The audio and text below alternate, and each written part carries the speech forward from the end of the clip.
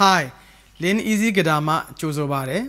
ကျွန်တော်တို့ရဲ့မြမရိုးရတကြံလေးနီးလာပြီဖြစ်တဲ့အတွက်တကြံတချင်းလေးတွေကိုကျွန်တော်က tutorial လုပ်ပေးပါမယ်အခုဒီဗီဒီယိုမှာ tutorial လုပ်ပေးမဲ့တချင်းလေးကတော့အဆိုတော် ring ကိုဆိုထားတဲ့ညိုမြဆိုတဲ့တချင်းလေးဖြစ်ပါတယ် beginner တွေဝါသနာရှင်တွေလွယ်လွယ်ကူကူတီးလို့ရအောင် ပြသပေးထားပါတယ်အခုဒီညိုမြတချင်းလေးကို တေးသေးချာချာတိတက်ချင်တယ်ဆိုရင်ကျွန်တော်ဗီဒီယိုလေးကိုအစာအဆုံးကြည့်စေချင်ပါတယ်အစာအဆုံးကြည့်ပြီးသွားလို့နှစ်သက်တယ်ဆိုရင် like လုပ်ဖို့ရယ် subscribe လုပ်ဖို့ရယ်ဘေးကခေါင်းလောင်းလေးကိုနှိပ်ဖို့ရယ် border တွေအတွက် share ပေးဖို့မမေ့ပါနဲ့ဒီသင်ခန်းစာလေးမစခင်အခုကျွန်တော်တင်ပေးမဲ့တချင်းနှုတ်လေးကိုမိတ်ဆွေတွေရဲ့ဖုန်းထဲမှာ save လုပ်ထားစေချင်ပါတယ်ဖြစ်နိုင်မယ်ဆိုရင် print ထုတ်တာတို့စာရွက်ပေါ်မှာ ကူရေးတာတို့ကိုလုပ်စေချင်ပါတယ်။ဘာဖြစ်လို့လဲဆိုတော့ကျွန်တော်သင်ကြားနေချိန်မှာအဲ့ဒီသချင်းနှုတ်လေးကိုကြည့်ပြီးလိုက်နားထောင်မယ်ဆိုရင်နှုတ်သဘောတရားလေးတွေတဖြည်းဖြည်းချင်းသဘောပေါက်လာပါလိမ့်မယ်။ကိုကကိုဂီတာလေ့ကျင့်တဲ့အခါမှာလည်းဒီသချင်းနှုတ်ကိုကြည့်ပြီးလေ့ကျင့်တဲ့အခါပို့ပြီးတော့ထိရောက်လာပါလိမ့်မယ်။ကျွန်တော်ရဲ့ tutorial တွေမှာတချင်းအစအဆုံးတီးပေးတဲ့နေရာလေးတွေအမြဲပါပါတယ်။အဲ့ဒီသချင်းလေးကိုနားထောင်တဲ့အခါမှာလည်းပဲ ဒီသချင်းနှုတ်လေးကိုကြည့်ပြီးတော့လိုက်နားထောင်မယ်ဆိုရင်ဘယ်နေရာဘလို့တီးသွားတယ်ဘယ်နေရာမှာဘလို့ရက်တယ်အစရှိသဖြင့်ပေါ့နော်အဲ့ဒါလေးတွေနားလေလာပါလိမ့်မယ်ပြီးတော့ကျွန်တော်တခုသတိပေးချင်တာကအခုကိုလေးချင်းမဲ့သချင်းကိုကြိုတင်ပြီးတော့နားရည်ဝအောင် နားထောင်ထားစေချင်ပါတယ်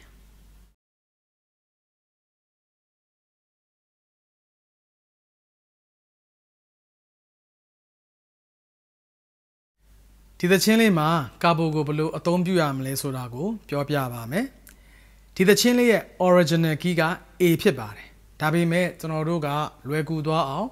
G position နဲ့တီးမှာဖြစ်ပါတယ်အဲ့ဒါကြောင့် guitar fret ရဲ့တစ်ကွက်နှစ်ကွက်နှစ်ကွက်မှာ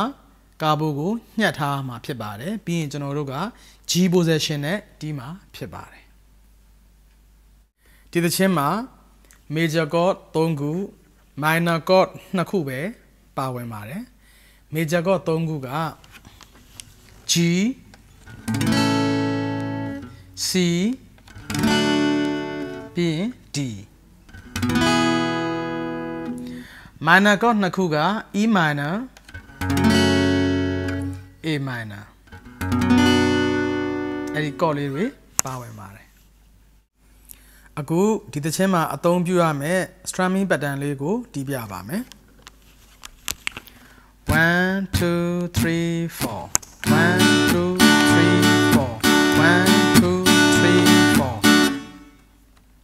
4နေ့နေ့လေးတစ်ခေါက်ထပ်တီးပြမယ်1 2 3 4 1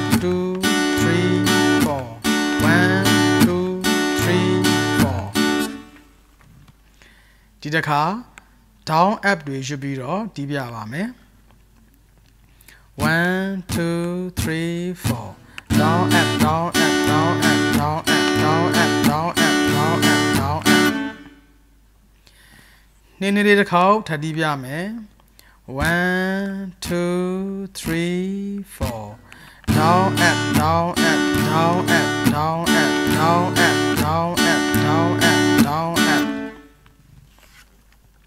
အခုဒီသချင်းမှာ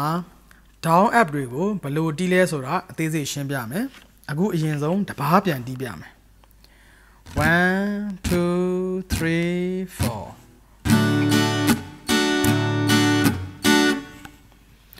သူကတော့တီးသွားတာ down app down app down app down app down app လေးလေးတွဲတီးထားတာဖြစ်ပါတယ်ပြန်ပြောပြမယ် down app down app down app down app အတွဲလေးလေးရွယ်တီးထားတာဖြစ်ပါတယ်ဒါပေမဲ့ဒုတိယအတွဲနဲ့စရုထအတွဲမှာကြတော့ down တွေကအတန်မြုပ်လုပ်ထားပါတယ်မြုပ်လုပ်တယ်ဆိုတာကအတန်တတ်ထားတာကိုပြောတာဖြစ်ပါတယ်เนาะဒါမျိုးကြီးပေါ့ပထမအတွဲတီးပြမယ် down app ဒုတိယအတွဲ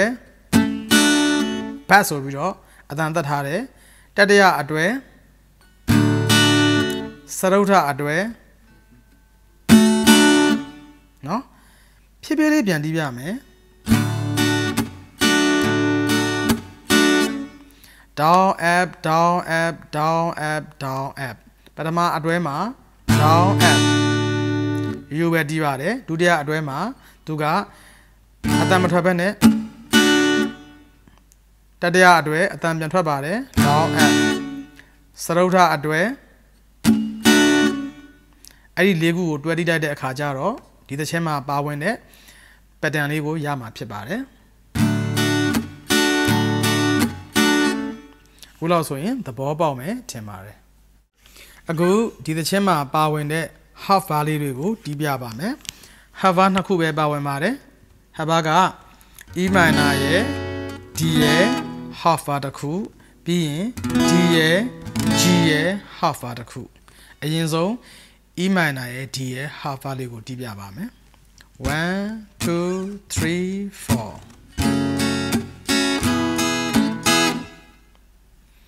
ဟင်းလေးလေးတီးပြမယ်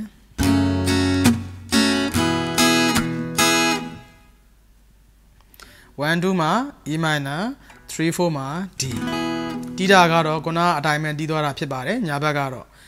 ဘယ်ဘက်ကကော့ကို1 2မှာ E minor 3 4မှာ D ကိုချိန်သွားတာဖြစ်ပါတယ်အခုနောက်တစ်ခုက D နဲ့ G နဲ့ half bar တီးပြမယ်1 2 3 4 1 2 3 4 1 2 3 4 1 2မှာ D 3 4မှာ G အခုလောက်ဆိုရင်သဘောပေါက်မယ်ထင်ပါတယ်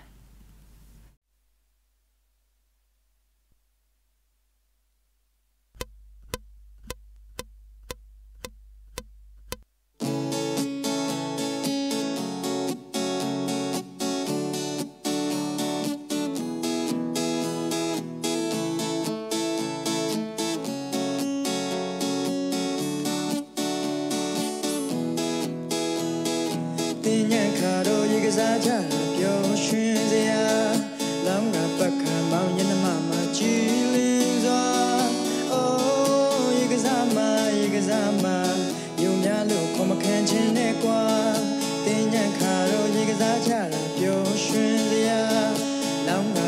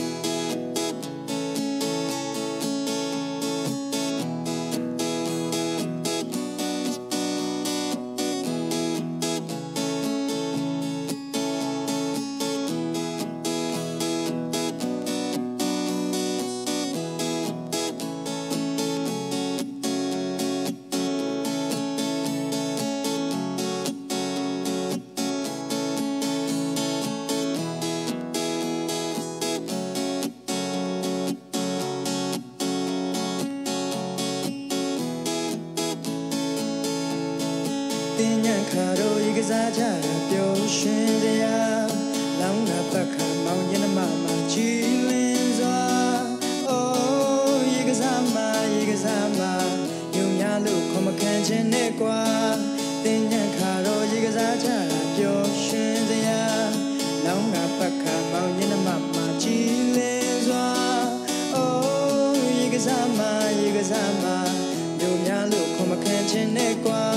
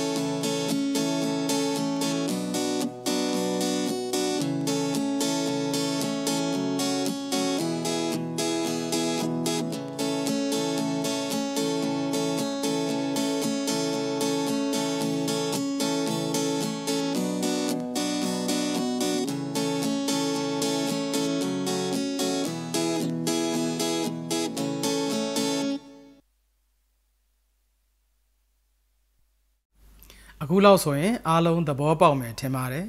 နားမလည်တာရှိရင်လည်းကျွန်တော်ကို comment ကပြန်မေးလို့ရပါတယ်ကျွန်တော်ဗီဒီယိုလေးကိုအစာအဆုံးကြည့်ပေးတဲ့အတွက်ကျေးဇူးအများကြီးတင်ပါတယ်